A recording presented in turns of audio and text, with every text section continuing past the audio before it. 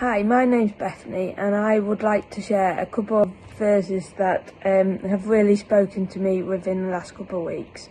Um, I have a Bible app on my phone, and it gives me daily verses, which is fantastic. Um, the first one is 1 John chapter 3, verse 18. It says, Dear children, let us not love with words or speech, but with actions and in truth.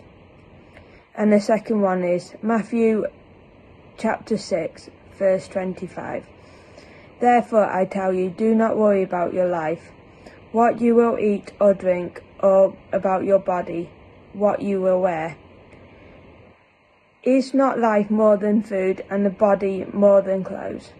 I think these verses just speak to us about um, speaking up for each other and, and and helping each other really. And also remembering that God will provide all our needs. And I know during this time um, when things are slightly unusual and slightly worrying um, it, it's hard to remember this but God does know what's going on and he is with us whenever we need him. It might not seem like it um, but he has a hand in everything that we do, and I think that's really important.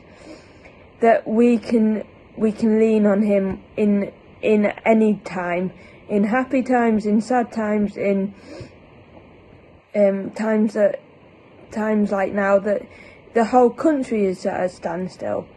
I, th- I think it's incredibly important, and I would just like to leave you with that.